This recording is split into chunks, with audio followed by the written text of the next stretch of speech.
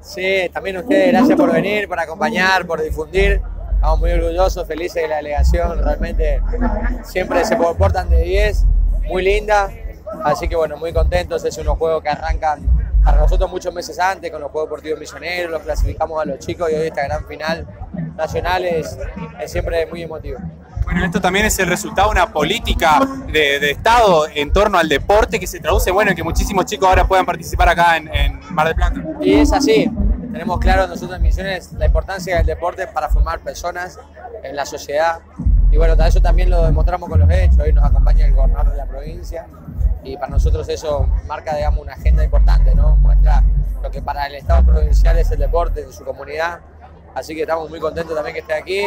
Nos queda una semana larga de mucha competencia. Por suerte el clima parece que va a ser este, óptimo nos va a ayudar. Nosotros que venimos del calor siempre sufrimos mucho Mar del Plata, así que bueno, estamos muy contentos. Bueno, y con, un, con algo, un detalle muy importante que es que un misionero lleva la bandera argentina, ¿no? Fue muy bueno eso. Este, Gastón Benítez es un campeón argentino de atletismo, es sobereño y hoy tuvo el honor de llevar la bandera argentina.